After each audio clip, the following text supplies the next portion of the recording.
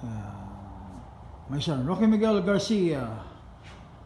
Exercise good for physical, mental health, yeah. For gastrocnemius muscles, stretching. So how many times is that, Rocky Miguel Garcia? How many times? Eight times. Ilan? Eight.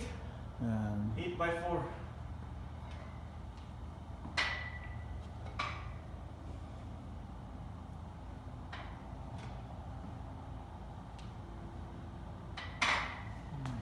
Okay na. Okay. Okay na. Na yung pang weights. Ah, dali ko lang ito eh.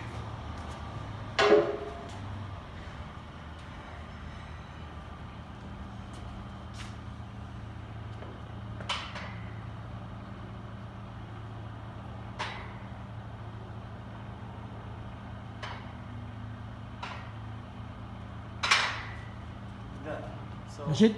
I'm gonna add weight now. I just want to show you how it works. Ito para pa safe for the safety. For safety, yeah. Just in case you can't handle the weight.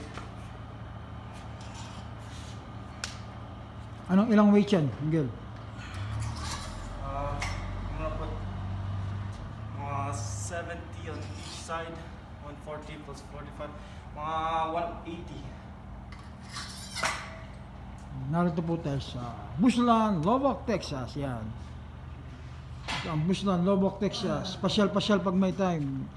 The house of my son, Rocco Miguel Garcia. Pag may tiyaga, may nilaga. Yan. Nagsika po kayong kabataan. Yan. Kagaya ni Rocky Miguel Garcia.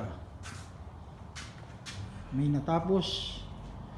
Yan. Nag-aral, magsikap. Mga 200 pounds. Nakaya mo ba yan? Madali to kasi sa, sa, sa squats. I'll show you. Hindi ko kaya na yun eh. Tanda na ako, 50 na ako, Miguel. I can't do that. It's easier than squats. Good for your calves, man. Ha? Mas madali lang to kaysa sa squats.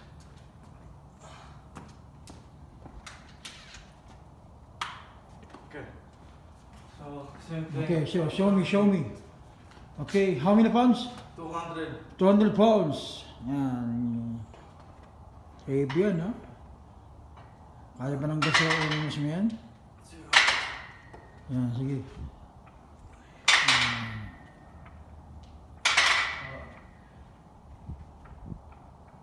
Okay, okay.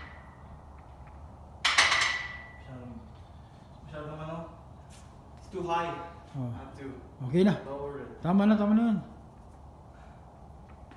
Tama na. Pero that's the idea. I just have to lower this So, right here. so what is the purpose of that? Kasi mas mas ano, sa Anong, anong purpose niyan? ano, ano, akin. anong area niya? Ano, anong purpose niyan? Ha? What is the purpose of that?